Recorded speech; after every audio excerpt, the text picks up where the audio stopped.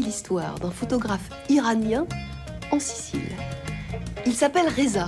C'est l'un des photographes les plus sollicités de la planète. Il vit entre Kaboul et Paris et nous l'avons retrouvé à Catane, à l'est de la Sicile. Reza est là pour prendre des photos, certes, mais surtout pour inciter des ados à en faire, à développer leur point de vue sur l'endroit où ils vivent. Cet endroit, c'est Librino, une cité dortoir de 100 000 habitants qui vit entre mafia et trafic de drogue.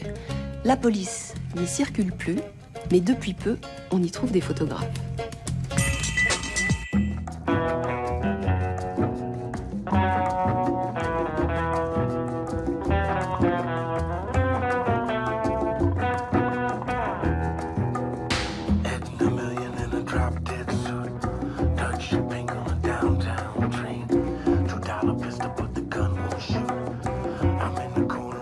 Le premier jour que je suis venu ici, Antonio qui m'emmenait dans la voiture, moi j'ai toujours mon appareil. En rentrant, il me dit euh, Reza, Reza, cache ton appareil. Je dis pourquoi? Il dit parce qu'ils vont nous tirer dessus. Je dis mais attends, ça me rappelle Kaboul, ça, ou d'autres endroits. Comment ils vont tirer? Il dit bah oui, ils, ils détestent, ils, ils veulent pas des appareils photo et tout. J'ai dit bon bah ça c'est exactement l'endroit idéal. euh, et c'est pas moi qui vais faire la photo, c'est maintenant, euh, c'est eux-mêmes qui vont sortir avec ces appareils photo, c'est leurs enfants. Alors, je vais photographier ces quatre ensemble. Comment je fais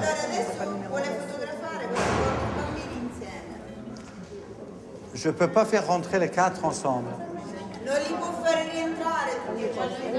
Comment je fais? Je m'éloigne, regardez. En faisant ça, maintenant, les quatre, ils sont rentrés. C'est pour ça qu'en faisant des photos, des fois on recule, des fois on avance, des fois on monte, des fois on s'assoit. D'habitude, c'est avec leur téléphone portable qu'ils se prennent en photo. Pour beaucoup, c'est la première fois qu'ils ont un vrai appareil entre les mains. Ils l'ont reçu la veille, on leur a prêté pour le projet. Ils ont entre 10 et 17 ans. Ils sont nés et ont grandi ici. Et dans la case profession du père, la moitié a répondu en prison. La mission que leur donne Reza, c'est de prendre en photo jusqu'à 300 habitants de leur quartier. Le thème de leur reportage, c'est Ma terre, ma famille. Quand on a la source de lumière, Bonjour à tous, je m'appelle Gracie et j'étudie dans ce collège. Là, c'est mon frère. je voudrais parler sur cette photo. Regardez, là, on voit dans une seule photo non seulement la relation de deux enfants, mais on a des informations visuelles importantes sur la, façon de vie, les objets, comment il dort. Ça, c'est des, des photos où ça montre vraiment l'intimité de la vie. Bravo, bravo. Chaque jour, Reza commente les photos des élèves, mais il tient aussi à leur montrer ses photos de reporters et à leur parler de courage. Eh.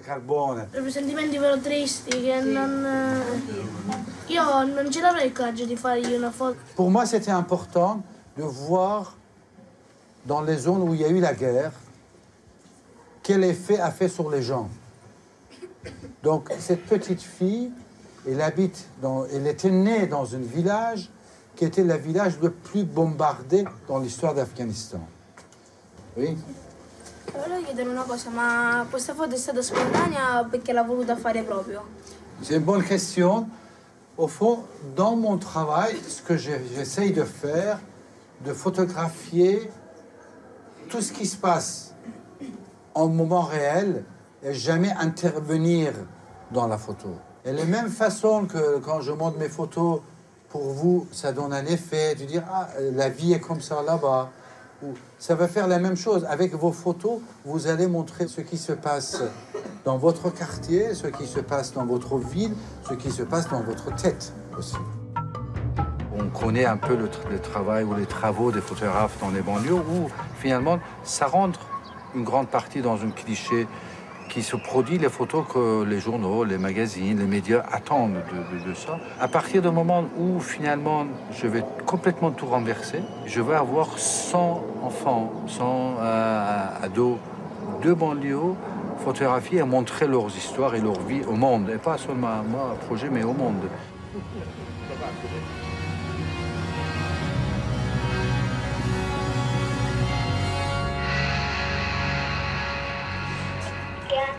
Jennifer, mi apri?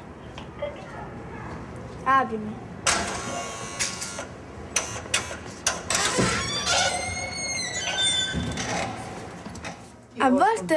Des fois, je réfléchis avant. Par exemple, pour ces photos, j'ai demandé à mes parents d'aller exprès à cet endroit. Mais d'autres fois, quand mes frères sont en train de jouer, j'arrive et je prends la photo.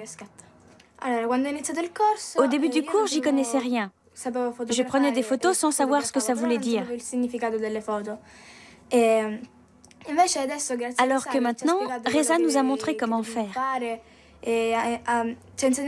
Il nous a appris à regarder une photo, à imaginer l'histoire derrière chaque image, derrière chaque personnage. Il n'y a pas de parc où emmener les enfants jouer. Il y en a un, mais à un kilomètre. Où voulez-vous qu'ils aillent? Ici, on ne veut pas qu'ils descendent. J'aime pas trop le quartier, mais c'est vrai qu'avec ce genre de projet, ils rendent Librino plus beau. Comme depuis qu'ils ont décoré la porte de la beauté. Ça fait quelque chose de joli à regarder. Ça change de la grisaille. Antonio Presti est un mécène sicilien. Cela fait plus de dix ans qu'il travaille à la création d'un musée d'art contemporain à ciel ouvert à Librino. C'est lui qui a invité Reza. Ces photos et celles des enfants seront bientôt projetées sur les façades des immeubles. Là, dans cette partie haute du quartier, ça commence à être très dangereux, surtout le soir et la nuit. Le fléau numéro un, c'est le trafic de drogue dans toute la Sicile. Et malheureusement, le deal est confié à des enfants qui sont mineurs. Je voudrais que ces enfants puissent retrouver leur dignité avec l'art. Chi, cosa, come, quando, perché. Chi, cosa, La réflexion, ça vient de ce mot pourquoi. Et c'est ça que j'essaie aussi de leur apprendre, que chaque fois qu'ils voient quelque chose, qu'ils entendent quelque chose, avant d'accepter, avant vraiment de, de s'approprier, de, de dire pourquoi, perché.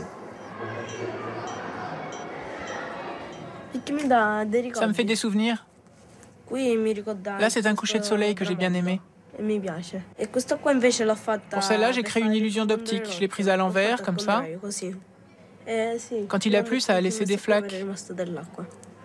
J'ai attendu le bon moment et j'ai pris la photo. D'ici l'automne, Librino va se transformer en vrai musée de la photo. Dans les commerces, sur les places, les photos seront accrochées et projetées. Pour Reza, c'est une première étape avant de mener à bien un projet identique. Il espère, mais cette fois en France, à Saint-Denis.